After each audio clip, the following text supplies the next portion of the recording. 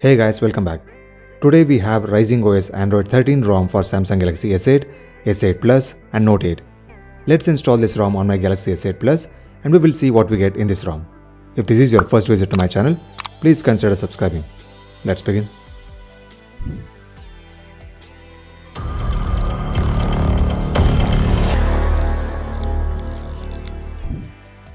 Before we start, you need to have a rooted phone with TWRP recovery installed. If your phone is not rooted, I have a video to show you how to root. The link is in the description. Follow the instructions and when you're done, come back to this video. We need to download two zip files. Number 1, the ROM zip file.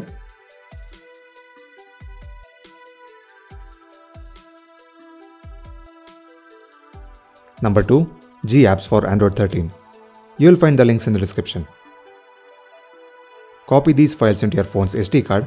This is important because we are going to wipe the internal storage.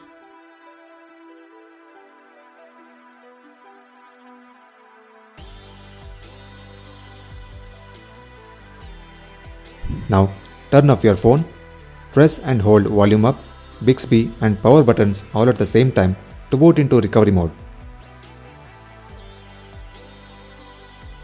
Swipe to allow modifications. Click on wipe, format data, type yes to erase internal storage.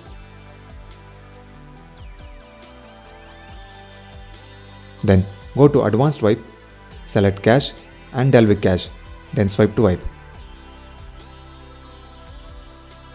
Now click on install, select the ROM zip file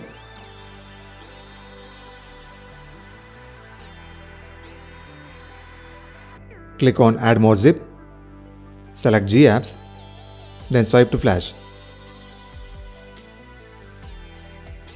Installation is now complete. Let's reboot system. Remember, the first boot will take some time, so don't panic.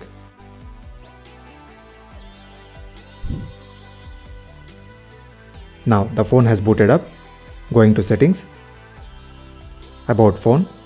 As you can see, this ROM is based on Android 13. Now let's see what you get in Android 13. Number 1. Advanced Clipboard. When you copy text, you can edit the text straight from the clipboard before you paste. This will come in handy when you do not need the text in between or you want to make some changes.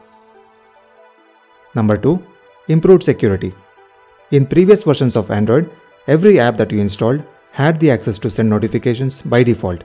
Now every app will ask you for your permission to send notifications. It is how it should be.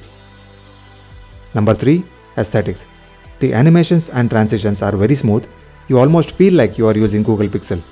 When you go to wallpaper and style, you will notice the color schemes of the theme will match the tone of your wallpaper. Of course, you can change from the presets. This is a fresh change Android needed. Now let's see what we get in this ROM. We have a dedicated menu for custom features in settings. I will quickly run through these settings and show you the highlight features. In lock screen settings, you can turn on edge lighting and media cover art that will show up in lock screen when you are playing music. In miscellaneous menu, you have gaming mode and a bunch of settings which can enhance your gaming experience. You can change screen off animation. I like this creative style. Then you can turn on swipe to screenshot gesture.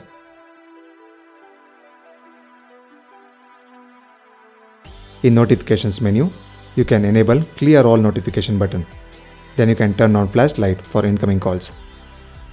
In quick settings, status bar and user interface menus, you get the standard customizations to change the layout. You need to bear in mind that for some reason Magisk is not working in this ROM. If you flash Magisk to gain root access, then you cannot unlock your screen. I had to boot into recovery mode and reflash the ROM and G-App zip files to get this ROM working. Talking about performance, there is no lag and no heating issues for playing games. Benchmark score of this ROM is good. If having root access is not so important to you, then definitely you can try this ROM. Thanks for watching.